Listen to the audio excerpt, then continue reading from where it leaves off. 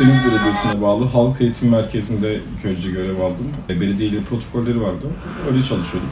E, Kayyum atandıktan sonra işten çıkarıldık. E, derslerimiz kapandı.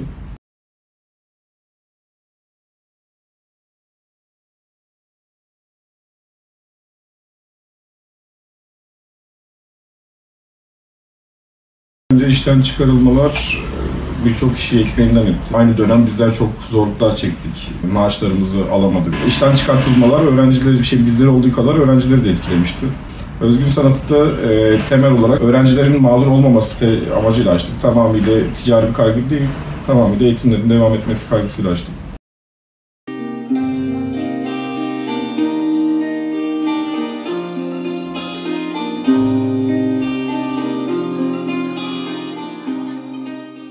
Ee, özgün sanatı mahalleden gelebilen insanlar e, sanata ulaşabilsin, daha uygun fiyatlarla sanata ulaşabilsin diye açtık.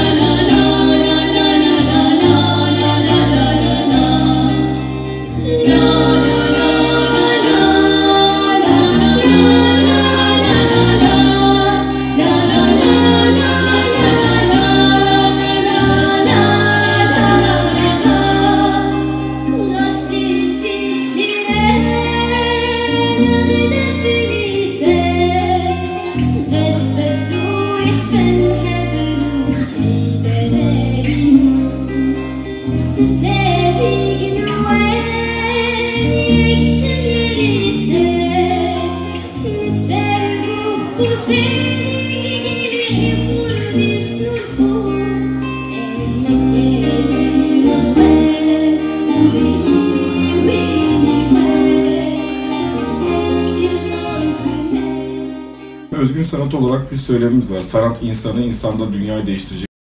Ee, bu söylemi yerine getirebilmemizin en verimli koşulu sokaktı, sokak müziğiydi.